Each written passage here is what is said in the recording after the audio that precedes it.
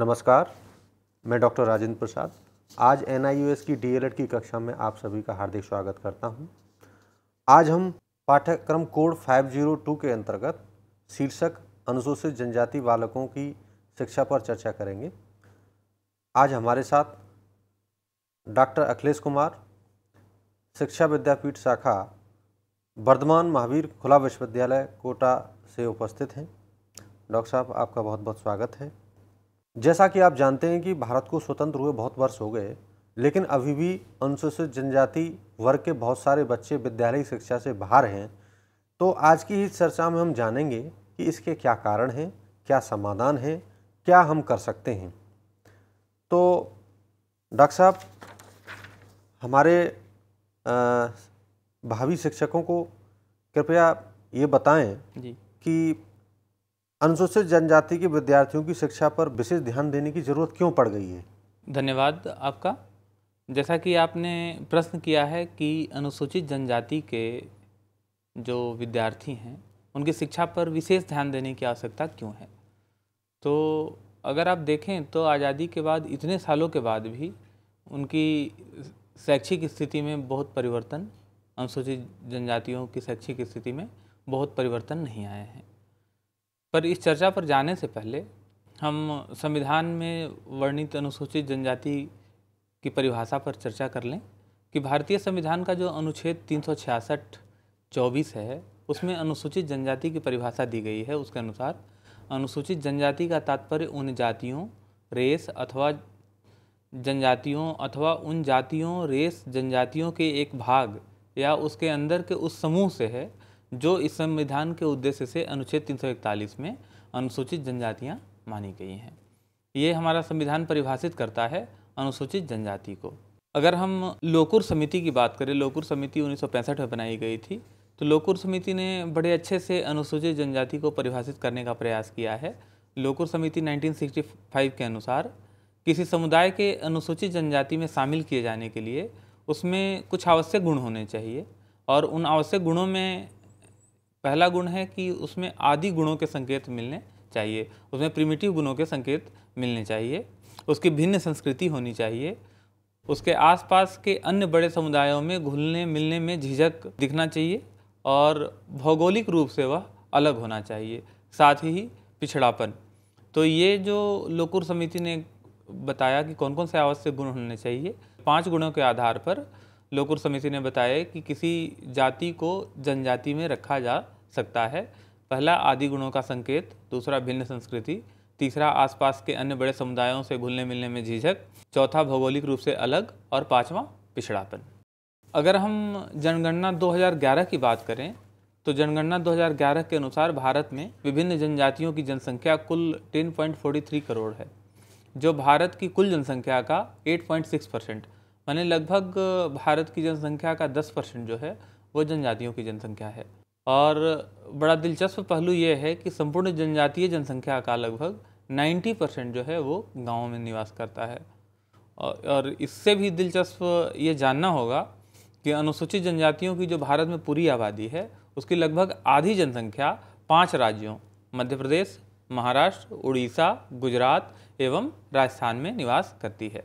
साथ ही ये भी जाने कि भारत के तीस राज्यों में लगभग अलग अलग जनजातीय समूह 705 हैं।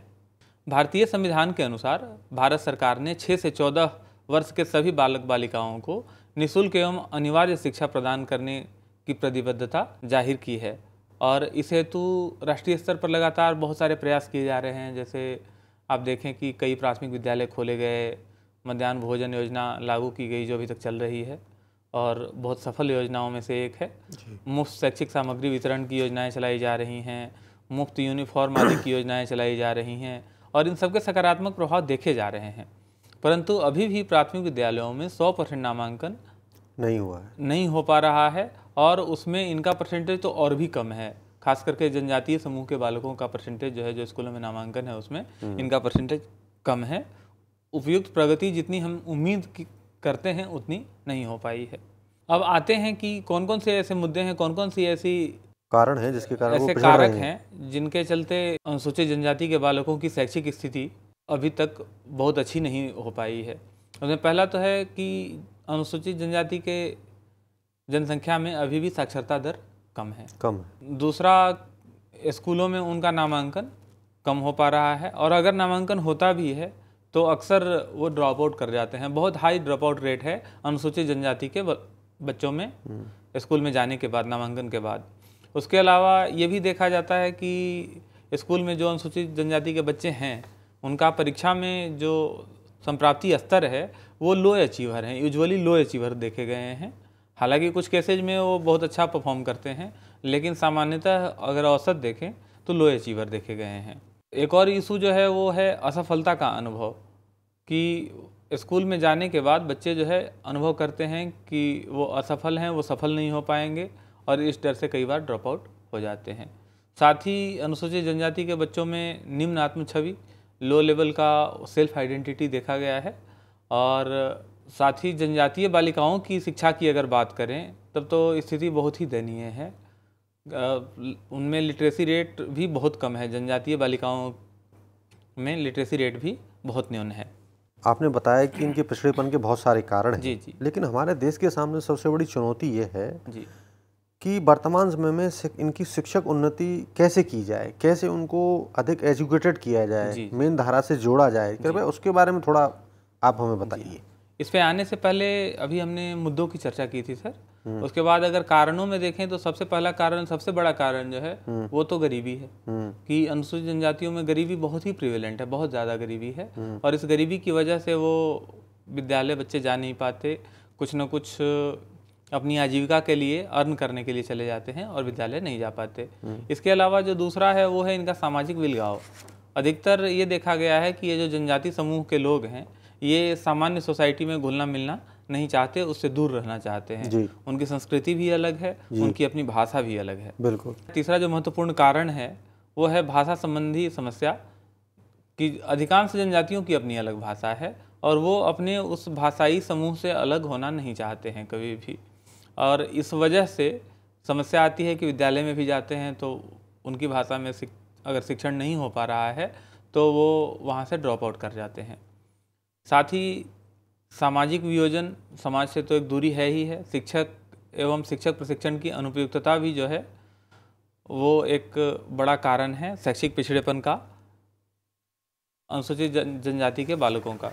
इसके अलावा एक और कारक जो है पारिवारिक जागरूकता माता पिता की रुचि का अभाव।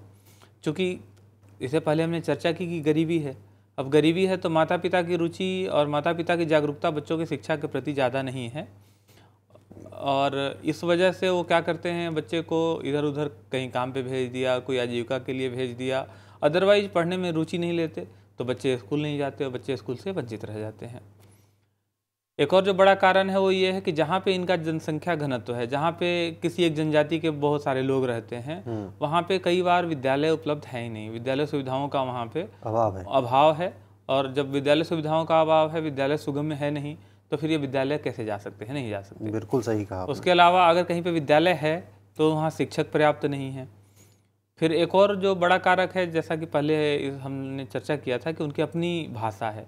अब ऐसे में जब वो विद्यालय जाते हैं बच्चे तो उनकी मातृभाषा में शिक्षा नहीं दी जाती। यूजली क्या देखा गया है हमारे देश में कि या तो राज्य में जो एक्सेप्टेड भाषा है उसमें शिक्षा दी जाती है या हिंदी और अंग्रेज़ी इन दोनों भाषा में शिक्षा दी जाती है या एक क्षेत्रीय भाषा में दी जाती है। लेकिन उनकी जो भाषा है उनकी जो बोली है वो उसमें भी अलग है। अब जब वो स्कूल जाते हैं तो उनको दूसरी भाषा की समझ नहीं होती है और उनकी भाषा में पढ़ाने वाले शिक्षक वहाँ पर उपलब्ध नहीं होते हैं। तब समस्या आती है कि उनकी रुचि जो है पढ़ने के प्रति समाप्त हो जाती है। अच्छा डॉक्टर साहब आपने जी। भाषा को एक बहुत बड़ा बैरियर बताया है जी, लिए। इसको मैं भी महसूस करता हूँ। जी। जैसे कि त्रिपुरा में रियांग जनजाति है जमाटिया जनजाति है डारलोंग जनजाति है इनकी अपनी भाषा है कॉकबोरॉक। जी। और वहाँ पर मीडियम है वो है बांग्ला। जी। इंग्लिश। जी। जब वो बड़े होते हैं कॉकबोरॉक को बोलते हुए बड़े होते हैं। हम्म, हम्म, जब वो स्कूल में जाते हैं तो बांग्ला पाते हैं। जी। जिसको वो जानते नहीं है। अब छात्रों के बीच में शिक्षक के बीच संवाद नहीं होता। जी। ये बड़ी समस्या है। इस समस्या पर जो है आपका क्या कहना है? कैसे इसको हटाया जाए? आगे के डिस्कशन में इस समस्या पे विस्तार से चर्चा करेंगे। अच्छा अच्छा अभी एक बार हम इन समस्याओं की चर्चा पूरी कर लें कि विद्यालय की अनुपलब्धता की जो बात की है वो कई बार कई जगह भौगोलिक परिस्थितियाँ ऐसी हैं जहाँ जनजातीय लोग निवास करते हैं कि वहाँ पे इतनी विरल जनसंख्या है इतनी फैली हुई जनसंख्या है कि वहाँ पे विद्यालय खोलना फिजिबल नहीं प्रतीत होता है। इसके अलावा कई बार आदिवासी जो गाँव हैं कई बार जनजातियों के जो गाँव हैं वो सामान्य जनसंख्या से बहुत दूर हैं। ऐसे में वहाँ पे विद्यालय नए खोलना या उनका संचालन दोनों ही बहुत कठिन काम है और ये भी एक शैक्षिक पिछड़ेपन का कारण है। एक और जो महत्वपूर्ण बात है इसमें वो ये है कि जनजातियों के एक स्थान से दूसरे स्थान पर स्थानांतरित होते रहने की प्रवृत्ति भी कुछ प्रजातियों में देखी गई है। वो कभी भी टिक करके नहीं रहते हैं। वो कभी आज इस स्थान पे कल उस स्थान पे परसों उस स्थान पे वो अपना जगह चेंज करते रहते हैं आवधिक रूप से। कुछ दिन एक जगह रह लिए फिर कुछ दिन दूसरी जगह। तो ऐसे में ये भी एक बड़ा कारण है कि अगर आप मूवमेंट इतना ज़्यादा हो तो बच्चों को विद्यालय सुगम्य कैसे हो सकता है? अगर आप एक जगह विद्यालय खोलते हैं कुछ दिनों बाद तो वो उठ करके वहाँ से चले जाएँगे। हम्म। उसके बाद फिर वहाँ कहाँ पे रुकेंगे आपको नहीं, नहीं। आपको नहीं पता है। हम्म। तो ये भी एक कारण है उनके शैक्षिक पिछड़ेपन का। हम्म। अब आते हैं जैसा कि आपने इससे पहले बताया था और पूछा था कि इनको उन्नत बनाने के लिए क्या सुझाव दिए जा सकते हैं तो कुछ तो सामान्य सुझाव दिए जा सकते हैं कि सामाजिक जागरूकता लाने की ज़रूरत है जहाँ जहाँ भी उनकी जनसंख्या ज़्यादा है जहाँ जहाँ उनकी जनसंख्या बहुलता है हम्म। वहाँ वहाँ नए विद्यालय खोलें हम्म।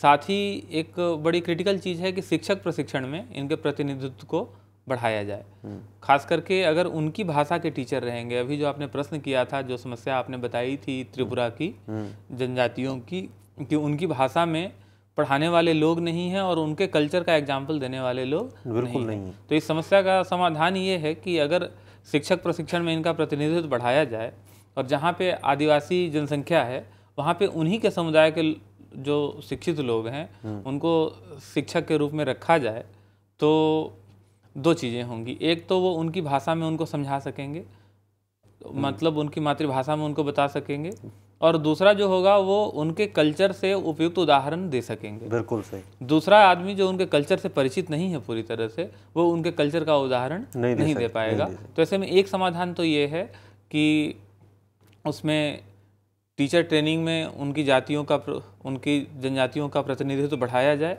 और उनकी जनसंख्या जहाँ पे जिस जनजाति की जनसंख्या ज़्यादा है वहाँ पे उसी के समुदाय के टीचरों को अपॉइंट किया जाए कम से कम एक दो टीचर तो रखे ही जाए हम्म।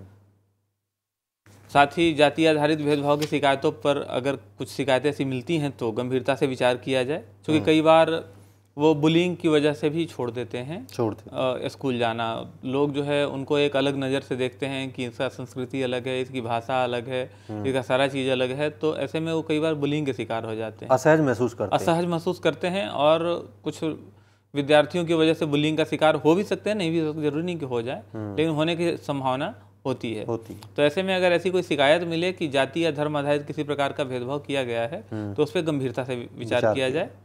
साथ ही एक और जो बड़ी इंपॉर्टेंट चीज़ है वो है कि विद्यालयों में जो पार्टिसिपेटरी टीचिंग मेथड्स हैं उनका प्रयोग किया जाए अगर पढ़ाने में तो उससे फ़ायदा ये होगा कि जो सामान्य जनसंख्या है उससे घुलने मिलने में इनको मदद मिलेगी। साथ ही ये सेकेंडरी लैंग्वेज दूसरी लैंग्वेज उस समूह का लैंग्वेज भी सीख हम्म। सकेंगे और इनकी भाषा से परिचय जो है उस दूसरे बड़े समूह से हो सकेगा। हो सके। फिर दोनों एक दूसरे की संस्कृति से परिचित हो सकेंगे। तो अगर पार्टिसिपेटरी टीचिंग मेथड्स का यूज़ किया जाए जहाँ तक संभव हो वहाँ तक हम्म। तो ये भी फ़ायदेमंद हो सकता है साथ ही जितने भी को करिकुलर एक्टिविटीज़ होते हैं शैक्षणिक गतिविधि होते हैं विद्यालय में हम्म। उन सब में इनका बराबर का सहभागिता जो है उसको सुनिश्चित किया जाए सहभागिता के साथ साथ कल्चरल इंटीग्रेशन का मौका मिलेगा हम्म। और इसका फ़ायदा इनको होगा ये इनकी झिझक दूर होगी। सामान्य जनसंख्या से घुलने मिलने की और वो वहाँ पे आएँगे इसके अलावा शिक्षा से जुड़े सभी व्यक्तियों को संवेदनशील बनाने के लिए लघु अवधि पाठ्यक्रम चलाए जा सकते हैं। और इन वर्गों के जो मुद्दे हैं हम्म। उनको शिक्षक प्रशिक्षण के सभी पाठ्यक्रमों में आवश्यक रूप से शामिल किया जा सकता है। हम्म। तो इनके शैक्षिक स्थिति इम्प्रूव हो सकती है। अब आते हैं कि जो हम आज बात कर रहे हैं इसमें एक शिक्षक के रूप में जो विद्यार्थी हैं जो हम दर्शक हमें देख रहे हैं एक शिक्षक के रूप में उनकी भूमिका क्या हो सकती है? बहुत महत्वपूर्ण प्रश्न ये बहुत महत्वपूर्ण है कि उनकी भूमिका हम्म। क्या होगी एक शिक्षक के रूप में ताकि अनुसूचित जनजाति के विद्यार्थियों की शैक्षिक स्थिति में सुधार हो। तो एक शिक्षक के रूप में सबसे पहला काम तो उनको ये करना चाहिए कि उनकी मातृभाषा में शिक्षण का प्रयास हम्म, करना चाहिए। जितना हो सके अगर पूरा नहीं हो सके तो भी जहाँ तक संभव हो वहाँ तक उनकी मातृभाषा में शिक्षण का प्रयास करना चाहिए। दूसरा किस जो उनकी शिक्षण अधिगम की प्रक्रिया है उसमें स्थानीय ज्ञान का समावेश करें। समावेश करने का मतलब कि जब भी आप जैसा कि अभी आप बता रहे थे कि जो भी उदाहरण देते हैं हाँ, उनकी वो संस्कृति के उनकी संस्कृति से लें उनकी भौगोलिक स्थिति से लें उनकी आसपास की चीज़ों से लें तो एक अच्छा मैसेज जाएगा उनको एक कोहेसन फील होगा और वो विद्यालय में अपनी उनकी रुचि बढ़ेगी विद्यालय आएँगे पढ़ने में उनकी रुचि बढ़ेगी और उनको समझ में भी जल्दी आएगा।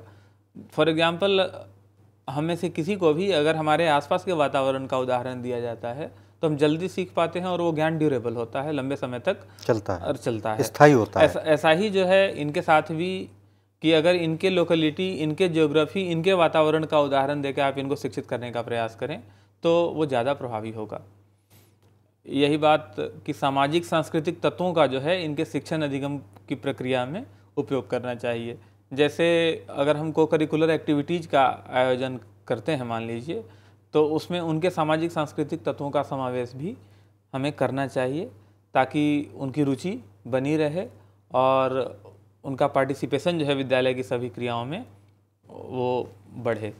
इसके अलावा कक्षा अधिगम के दौरान उनके लोक सामग्री, एक चीज़ और भी बहुत महत्वपूर्ण है कि प्रत्येक आदिवासी समूह का एक स्पेसिफिक कल्चर है, जो कि उसके भाषा के साथ बहुत क्लोजली जुड़ी हुई है। जैसे भाषा के साथ जुड़ाव इससे स्पष्ट होता है कि लोक कथाएँ कई प्रचलित हैं, कई लोकगीत प्रचलित हैं, लोक कलाएँ प्रचलित हैं। तो एक शिक्षक होने के नाते आपको चाहिए कि आप भी, जब भी आप उनको पढ़ा रहे हैं, कुछ सिखा रहे हैं तो जहाँ पर भी संभव हो लोक सामग्री का प्रयोग करें उनको पढ़ाने के लिए, उनको बताने के लिए, उनको समझाने के लिए। जैसे आप लोक कथाओं का प्रयोग कर सकते हैं, जैसे आप लोकगीत का प्रयोग कर सकते हैं, उनकी विभिन्न लोक कलाओं का प्रयोग कर सकते हैं।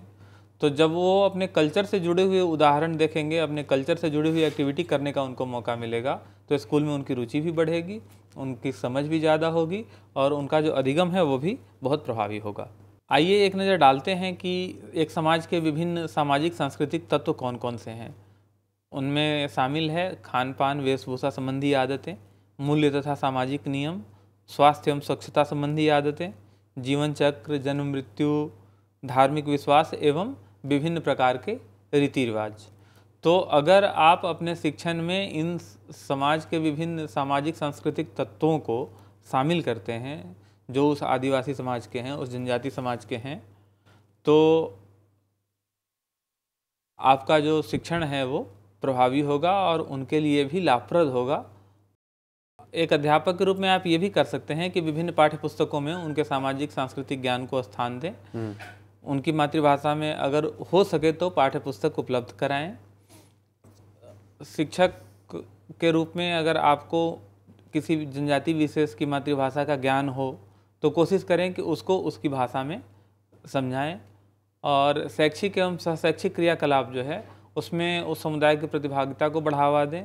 जैसे कोई सहशैक्षिक क्रियाकलाप वगैरह आप आयोजित कर रहे हैं तो उनकी संस्कृति के, जनजातियों के संस्कृति के, जनजातियों के समाज की कुछ विभिन्न क्रियाओं को आप उसमें सहशैक्षिक क्रियाकलापों में शामिल कर सकते हैं। जैसे आप अगर कोई गायन प्रतियोगिता का आयोजन कर रहे हैं मान लीजिए तो उसमें ये छूट दी जा सकती है कि वो अपना लोकगीत सुनाए। न कि ज़रूरी नहीं है कि ऐसा कोई गीत सुनाए जो कि सबको समझ में आए। हम्म, ज़रूरी नहीं है। उनको लोकगीत कोई अगर कला का कंपटीशन आप ऑर्गेनाइज कर रहे हैं तो उनको उनकी कलात्मकता दिखाने का मौका दें जो उनके संस्कृति में प्रिवेलेंट है। इसके अलावा मल्टी एजुकेशन जो है वो उनके लिए बहुत प्रभावी विधि साबित हो सकता है। हमारे देश में जैसा कि हमने पहले चर्चा की कि अधिकांशतः शिक्षा का माध्यम हिंदी अंग्रेज़ी या राज्य की भाषा है। ऐसे में जन, विभिन्न जनजातियों के बालकों के लिए बहुभाषी शिक्षण जो है एक बहुत ही सशक्त विकल्प है जिसके द्वारा बच्चे को उसकी मातृभाषा से द्वितीय भाषा सिखाई जा सकती है। सर शिक्षा अभियान के तहत उड़ीसा एवं आंध्र प्रदेश के कुछ हिस्सों में मल्टीलिंगुअल एजुकेशन की बात चल रही है। चल रही है और इसका सफल प्रयोग किया जा चुका है। इसके अलावा बहुभाषी शिक्षण, एक भाषा शिक्षण एवं ज्ञानात्मक विकास कार्यक्रम है, जो जनजातीय बच्चों को उनकी मातृभाषा का मज़बूत आधार प्रदान करता है। उन्हें एकाधिक द्वितीय भाषा का समुचित ज्ञान कराता है और अधिगम हेतु विभिन्न भाषाओं के प्रयोग एवं उनके उपयोग में सक्षम बनाता है। बहुभाषी कक्षा में जो सामग्री आप रख सकते हैं, वो रख सकते हैं। बहुभाषी शब्दकोश रख सकते हैं। चित्र कहानी की पुस्तक रख सकते हैं। हम्म। शब्द पहचान कार्ड या दृश्य शब्द रख सकते हैं जिसको साइट वर्ड कहते हैं। जी जी। जैसे हम बचपन में बच्चों को सिखाते हैं कि ये एप्पल है ये सेव है। जी। अ, सेव की फ़ोटो लगाते हैं और नीचे एप्पल लिखा हुआ होता है। ऐसे ही हम उसकी भाषा में और दूसरी कॉमन भाषा जो है उनको तुलना करता हुआ शब्द पहचान कार्ड या दृश्य शब्द विद जो है उसके फ्लैश कार्ड्स बना करके उनको सिखा सकते हैं ताकि वो अपनी मातृभाषा से धीरे धीरे दूसरी भाषा पर शिफ्ट हों। इसके अलावा टोटल फ़िज़िकल रिस्पॉन्स या टीपीआर का प्रयोग कर सकते हैं। टीपीआर का मतलब कई बार ऐसा होता है जैसे हम कहते हैं इधर आओ उधर जाओ छोटे छोटे शब्द यूज़ करते हैं किसी भाषा विशेष का और इसके माध्यम से हम भाषा सिखाते हैं। जी। तो ऐसे ही एक तो शिक्षक उनकी भाषा सीख के उनको कम्युनिकेट कर सकता है। और दूसरा शिक्षक इतनी छोटे छोटे शब्द जो है दूसरी भाषा के उनको सिखा करके धीरे धीरे उनको उनके फ़र्स्ट लैंग्वेज से सेकेंड लैंग्वेज पे ला सकता है। बहुत सही कहा आपने तो आज हमने आज की कक्षा में देखा कि स्वतंत्रता प्राप्ति के सत्तर वर्षों बाद भी जनजातीय बच्चों की शिक्षा में अपेक्षित प्रगति नहीं हो पाई है जिसके कारणों में जनजाति बहुल इलाकों में विद्यालयों का सुगम्य न होना उनकी मातृभाषा में शिक्षण न होना जनजातियों के सामाजिक विलगाव की प्रकृति ये सारे हैं। इसे उन्नत बनाने के लिए एक प्राथमिक शिक्षक के रूप में आप उन्हें उनकी मातृभाषा में सिखाने पर ज़ोर दें। शिक्षण के दौरान उनके सामाजिक, सांस्कृतिक संदर्भों का ध्यान रखें और बहुभाषी शिक्षण को बढ़ावा दें। आज आपने आज की कक्षा में सीखा कि अनुसूचित जनजाति के बच्चों के एजुकेशन के फ़ील्ड में पिछड़ने के कारण क्या हैं और इनको कैसे विद्यालय के अंदर लाया जा सकता है और इनकी क्या क्या समस्याएँ हैं और एक शिक्षक का इसमें क्या योगदान है। हमारा समाज क्या कर सकता है? हम क्या कर सकते हैं? डॉक्टर साहब निश्चित रूप से हमारे अ, जो शिक्षक हैं आपके इस वक्तव्य से बहुत लाभान्वित होंगे। हम आपके बहुत आभारी हैं। आपने हमें मूल्यवान समय दिया और मूल्यवान वस्तु से आपने परिचय कराया। आपका बहुत बहुत धन्यवाद। धन्यवाद सर। और आप सभी विद्यार्थियों को अभिवादन।